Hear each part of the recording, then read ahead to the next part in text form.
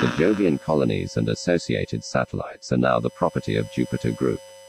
Do not approach Jupiter. Do not transmit to Jupiter. Failure to comply.